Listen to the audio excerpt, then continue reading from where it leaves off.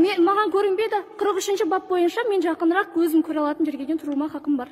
Былтыр алматы облысы қазақстан ауылының әкімін сайлауды бақылаған гүлназ шәріпбай комиссиямен дауласып тұр. Ол күні бойы дауыс беруге келген 114 адамды санаған. Ал комиссия хаттамада сайлаушы санын 10 есе көбейтіп көрсетеді. 22 жастағы бақылаушы бұл ауыр стресс болғанын айтады. Қазір камераны ашамыз. Мен сіздерден талап етемін осыдан кейін камераны ашып адамдарды отырып санаймыз.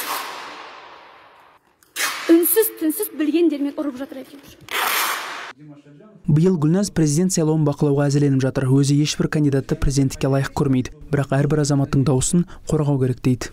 Бізде бұрыннан бері қалыптасып қалған бір өте таяз сана бар да. Біз үшін бәрін шешіп қойған біз үшін бәрін істеп қойған жоқ. Барлығы біздің қолымызда. Барлық қала бойынша барлық аудан бойынша егер шығатын болса бақылаушылар онда біз барлық қазақстанды жабамыз. Және түбінде әділетті сайлауды орнатамыз.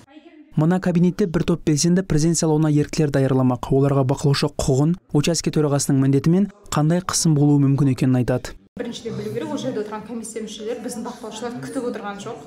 Ә, біздің бақылаушылар олар үшін жау сияқты көрінеді.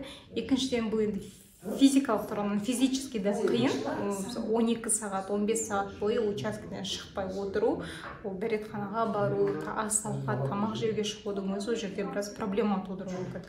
Бірақ енді біз мейлінше мобильдік топтар құруға бір алмастырғанға ауыстырғанға тырысамыз бірақ өкінішке орай бізде адам саны жетпейді.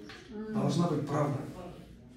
Тәуелсіз бақылаушылар арасында бұрынғы офицер де бар. Ол ұзақ жыл мемлекеттік күзет қызметінде істеп зейнетке шыққан үш жылдан бері сайлауды бақылауға кіріскен. Мақсатым биліктің сайлаудағы өтірігін әшкерелеу дейді.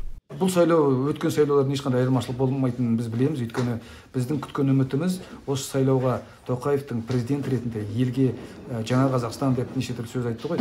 Ә, сайлау заңын өзгертеді деген үмітіміздің бір ойда ақталған жоқ. Ол бір екіншіден ә, сайлау комиссиясының орталық сайлау комиссиясының мүшелерін өзгерту біздің бір берген ұсыныстарымыздың біреуі де іске асқан жоқ. Сондықтан біз оған сенбейміз. Андағын санамайсыз ба? Тоқтаңыздар. Не істеп жатсыздар? Мен айтып тұрмын. Қазақстанда сайлау кезінде тәуелсіз бақылаушылар құқығы жиі бұзылады. Оларға учаскелерде комиссия мүшелері қысым көрсетеді дауыс санау процесінен шеттетеді. Орталық сайлау комиссиясының өзі бақылаушыларды билікшіл не тәуелсіз деп алаламайтынын айтқан. Қазақстан соты тәуелсіз бақылаушылар шағымын бір ретте мақұлдаған емес. Апай құдайдан ұялсаңыздаршы ең болмаса халықтан обал ғой мынау? Аян қалмұрат азамат шамқатов азат ньюс. Кешегі екі жүз отыз сегіз адам бекер өлді ма?